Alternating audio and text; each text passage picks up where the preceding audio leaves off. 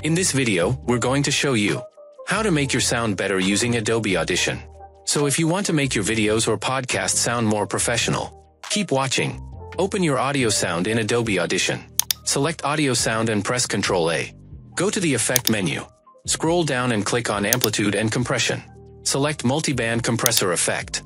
Select Broadcast from the presets.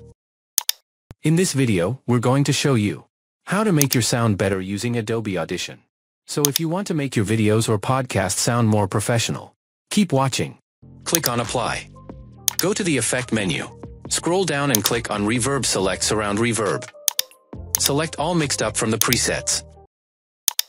In this video, we're going to show you how to make your sound better using Adobe Audition. So if you want to make your videos or podcast sound more professional, keep watching. Click on Apply. Thanks for watching this tutorial on how to make your voice sound better in Adobe Audition.